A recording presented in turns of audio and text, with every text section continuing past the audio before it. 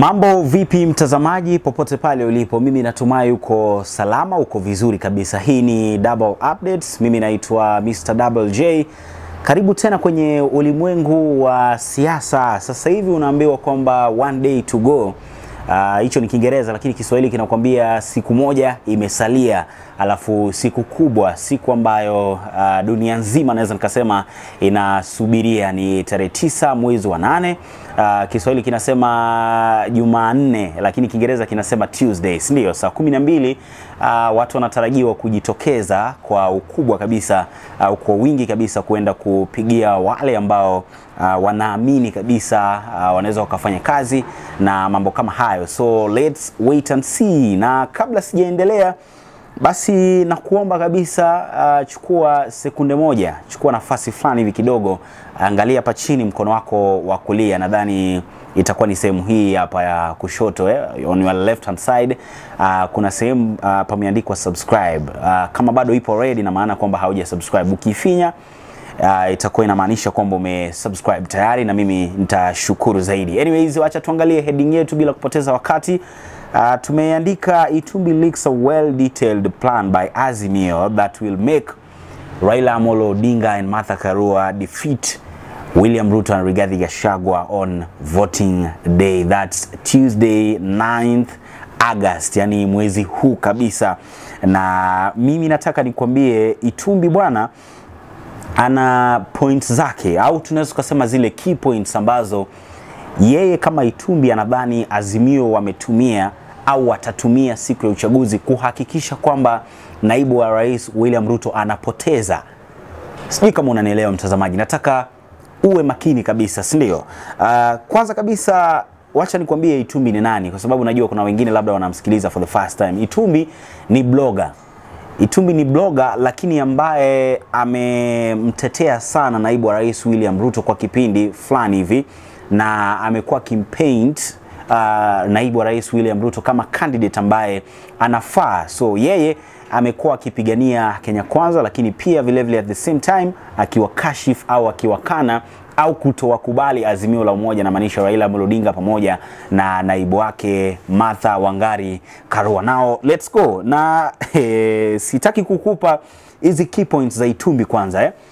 Niko na swali na baada ya swali nitakuja kukupa point zangu ambazo mimi nadhani zinamfeva au zinawafeva Azimio la Umoja ikiongozwa na Raila Amolo Odinga pamoja na Martha Karua, lakini ina inawarudisha ina, ina nyuma au inawakataa au ni zile factors ambazo haziwezi zikaonyesha zika kwamba uhu au uh, William Samoei Ruto anaweza akashinda. yani hizi ni factors ambazo uh, zinamfeva sana Raila Amolo Odinga kushinda uchaguzi wa mwaka huu mwaka 2022 lakini at the same time zinakataa kabisa uh, Ruto kuchukua nafasi. Yaani uh, sijui nitaiwekaje, lakini tayari umenielewa. Hizi ni factors ambazo ni disadvantages sana kwa Ruto kupata nafasi na huku ni very important sana na ni advantage kwa uh, Raila Amolo Odinga. Na kabla sijakupa key points za Itumbi, mimi nina points zangu ambazo nataka uwe makini kabisa ndo unielewe. Ni points saba muhimu kabisa, nataka tuchambue moja baada ya nyingine, lakini pia wewe utakuja kuniambia kama ni kweli au sio kweli, na kama sio kweli, uona hisi ni factors gani au ni key points gani ambazo zitamfavor Raila Amolo Odinga na hazitamfavor naibu wa rais William Ruto. Point yangu ya kwanza ni kwamba Ruto pamoja na Rigathi Gachagua wana more disadvantages. Nikizungumzia more disadvantages kwa Ruto na Gachagua, nazungumzia machafuko ambayo yamekuwa yakiwachafua uh, katika serikali. Unanielewa eh? Kuna makesi nyingi sana ambazo tumekuwa tukiziona. Juzi hapa tumeona koti uh, imetoa oda kwamba kuna hela fulani ya Gachagua ambayo ni zaidi ya bilioni moja zimekamatwa au zimeshikiliwa, na ina maana kwamba ni serikali imepata hela ambayo ilikuwa imepotea, na hizi pesa zinadaiwa kwamba Rigathi Gachagua ndo alikuwa ameiba. On the other side tunaona makesi ambazo zinamzunguka kweli uh, naibu wa rais William Ruto, uporaji wa mali uh, ya umma uh, uporaji wa mali ya watu binafsi. Unaona eh? Uh, naibu rais amekuwa na kesi nyingi sana mahakamani, lakini pia vile vile kwa watu ambao uh, wanazifuatilia. Uh, so unaweza kukuta kwamba hawa wawili wana makesi nyingi sana ambazo inafanya mwananchi ambaye haangalii ushabiki anaangalia mwanasiasa na historia zake, inakuwa vigumu sana yeye kutrust watu kama hawa. So hiyo ni point ya kwanza. Point ya pili ni kwamba Raila always have big numbers. Ladies and gentlemen, do, let, let, let, let's don't uh, uh, lie on this one. Tus, tusidanganyane. Kiswahili kinasema hivyo, sijui kama nimeweka direct sana. Uh, tusidanganyane. Uh, Raila ana numbers kubwa sana. Tumekuwa tukiona mfano mzuri ni mwaka 2007 alishinda, na mpaka leo hii ndio alikosa, lakini mpaka leo hii wafuasi wa Raila Amolo Odinga mwaka 2007 na hata Raila mwenyewe kwenye rallies zake mara nyingi anasema tulishinda, lakini kutokana na namna ambavyo tulinyang'anywa hatungefanikiwa kupata ile nafasi. Hiyo ni point ya pili. Ya tatu, Ruto hajawahi kuvai kwenye nafasi ya presidency. Sio kama unanielewa mtazamaji. Kwa makini kabisa. Kwa nini nimekuja na point hii hapa ya Ruto hajawahi ku, uh, kupigania nafasi ya urais uh, katika uchaguzi ambazo zimepita? Unajua hapa bwana ni kama kukompea mtu ambaye au watu wawili ambaye mmoja ameenda shule, so unajaribu ku mtu mmoja ambaye ameenda shule, mwingine hajaenda shule, lakini wote wanaenda kukalia mtihani sijui kama unanielewa. Au mmoja ameenda shule mpaka ngazi za juu, mwingine ameenda shule lakini hajafikia ngazi za juu. Direct kabisa tunazungumzia uh, Raila Amolo Odinga amekuwa kivai kwa kipindi kirefu sana lakini at the same time William Samoei Ruto this is the first time anavai for presidency. Kwa nini nazungumza hivi? Tayari tushajua uzito wa Raila uko wapi kwa sababu ya mara zingine ambazo amekuwa akiwania kiti cha urais. William Ruto inakuwa vigumu kujua ni nafasi gani ambayo wako nayo au uzito wake uko wapi, na nadhani baada ya uchaguzi huu hapa ndo tutakuja kujua Ruto ana uzito sehemu gani. Tusidanganyane, sitaki kuzungumza na mashabiki wa Azimio na mashabiki wa, wa, wa, wa Kenya Kwanza. Nataka tu nizungumze na watu ambao wanaangalia facts. Ruto hajawahi kuvai, kujua uzito wake ni very hard.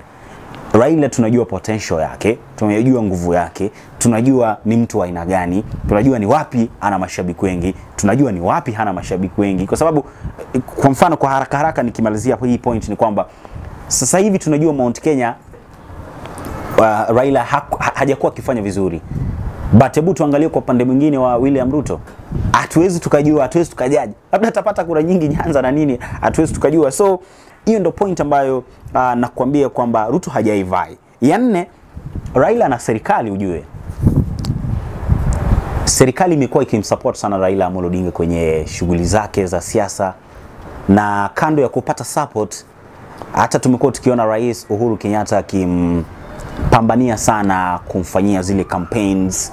Siku ya jana alikuwepo kule Kiambu, Mount Kenya kwa ajili ya kumpigia Raila debe na kushawishi wakazi wa Mount Kenya kumsupport Raila Amolo Odinga pamoja na uh, mtoto wao Martha Karua kwa ajili ya ushindi au kupata ushindi wa mwaka 2022. So Raila anapata support kubwa sana kutoka kwa serikali, na nikizungumzia serikali nazungumzia Uhuru uh, Muigai uh, Kenyatta. Point yangu ya tano ni issue au swala la deep state. Unajua siku zote deep state haipatikani tu katika serikali, ipo tu hata kwenye kampuni yako, mtazamaji, wewe ambao unafanyia kazi.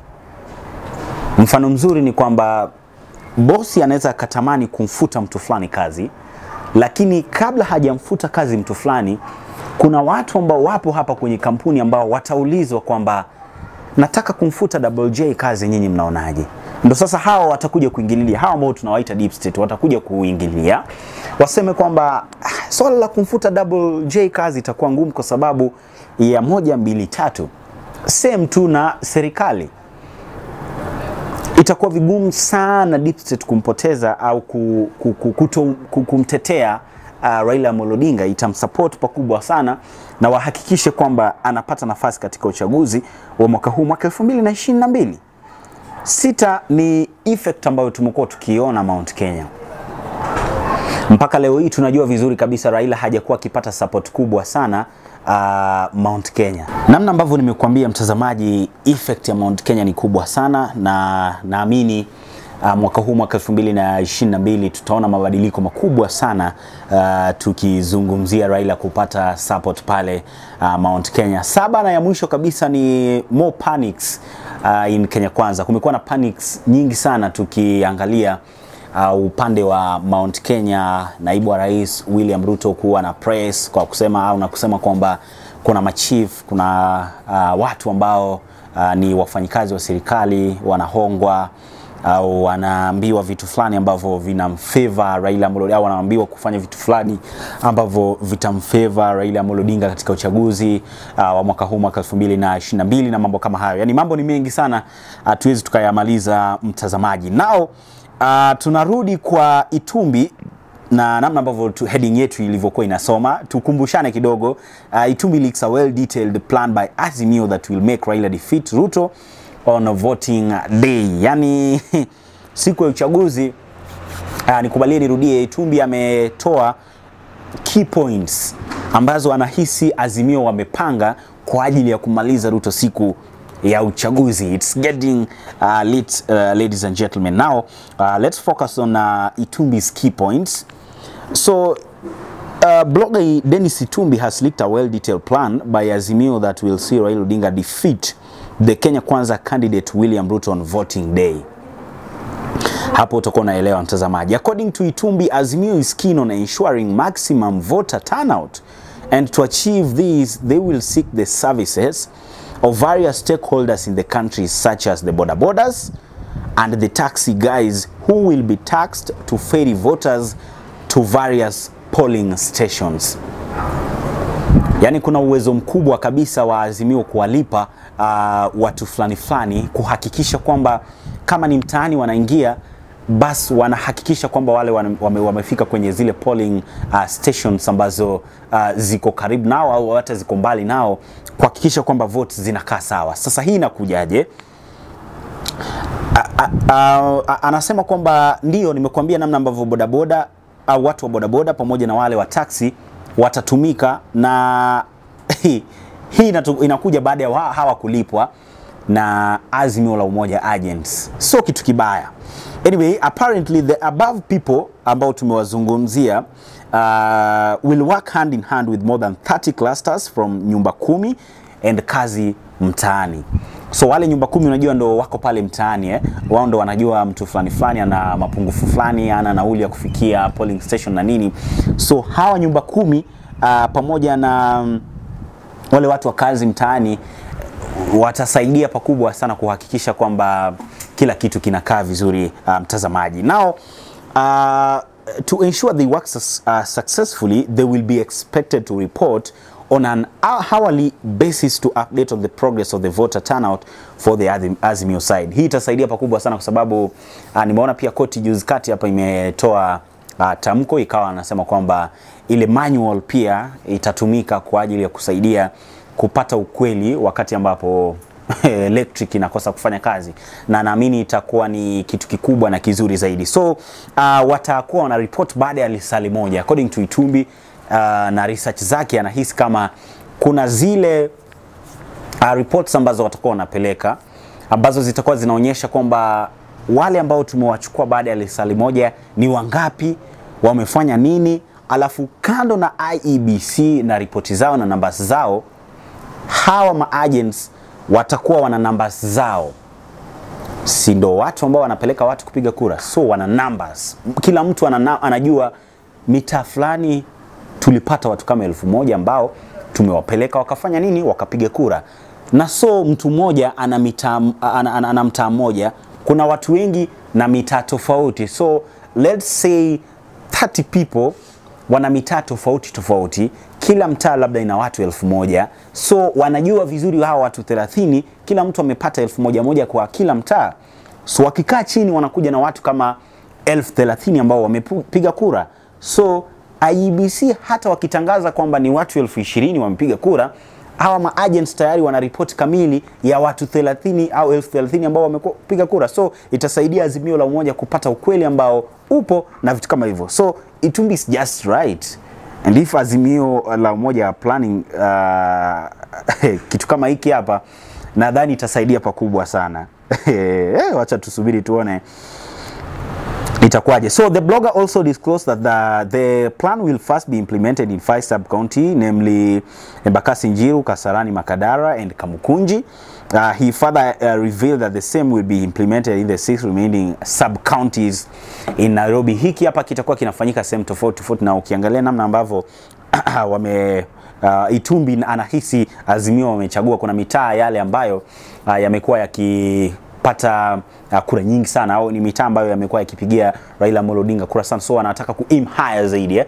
Licha ya kwamba anapa- anapata support kubwa, anataka kuongezea iwe iwe kubwa zaidi. Anyways, uh, tunaenda uh, sehemu nyingine. Uh, in the meantime, various politician analysts, and analysts have opined that the Tuesday election will be won on voter turnout, and it seems as if Mio is keen on handing Raila early victory in Itumbi's leaked claims are anything to go by, since uh, will work to the advantage of the ODM leader and to the disadvantage of his booze William Samoe Ruto. Anyways, tuki, uh, tumekuwa tukizungumza Raila na numbers na Tuesday eh, uh, 9th August nadhani numbers zitachangia pakubwa sana mtu kushinda na automatic ni Raila Amolo Odinga. We don't need to talk about uh, or talk about uh, that much. This come just a day after both the leading uh, political camps held their last political rallies at the Kasarani Stadium and Nyayo uh, Stadium. That was yesterday. I think I was in Kasarani and uh, what I can say uh, is that Raila Amolo Odinga has fans, man. Die hard fans. One of the biggest crowd I've ever seen in, in, in, in my in, in, in my uh, I can say rallies ambazo, ambazo nimeenda mimi uh, na jana Kasarani, Kasarani ilikuwa kubwa sana compared to Nyayo. Unajua Nyayo ni kama mara mbili o Kasarani ni kama mara mbili ya Nyayo, yaani Nyayo lazima uunganishe mara mbili ndio upate Kasarani moja. Sijui kama unanielewa mtazamaji, kwa sababu Kasarani sina watu elfu sitini eh? Uh, now on, on, on, the other side eh, uh, plan ambayo Itumbi anahisi kama itasaidia Raila Amolo Odinga kushinda ni President Uhuru Kenyatta uh, support to Azimio la Umoja team, kwa sababu jana Uh, President Uhuru Kenyatta went to Kiambu where he urges people to throw uh, their weight behind Raila Odinga and Martha Karua, terming them the only hope for Kenya given their record on integrity matters. So mtazamaji, hizi ni points ambazo Itumbi amehisi kama Azimio wamepanga. Kwanza kabisa uh, ku, ku, kuwatumia kina chiefs uh, wale village elders, nyumba kumi, kazi mtaani, kusaidia Azimio uh, kuhakikisha kwamba zile numbers zinakuwa ni numbers za kikweli na hakuna kudanganya uh, lakini pia vile vile support ambayo anapata uh, Raila Amolo Odinga kutoka kwa Uhuru Kenyatta na mambo kama hayo. So let's wait and see ni kitu kipi ambacho kitatokea. Anyways, uh, nimekupa point zangu, nimekusomea point za Itumbi. Nataka pia wewe kama mtazamaji uwe free uniambie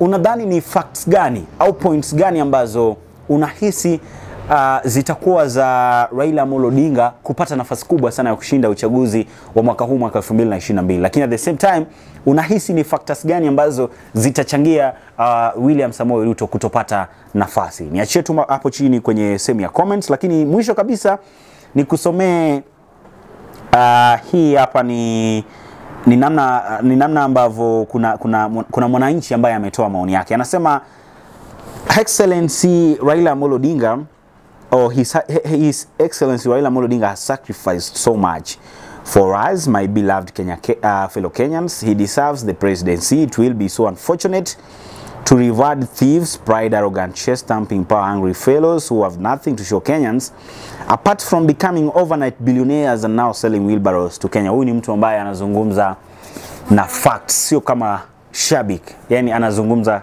na facts kwamba itakuwa vigumu sana kwa mwananchi kufanya nini, kumpigia kura Raila au kumpigia kura William Ruto kutokana na hizo facts ambazo nimekupa mtazamaji. Maoni yako ni gani? Nitupie hapo chini kwenye sehemu ya comments na subscribe.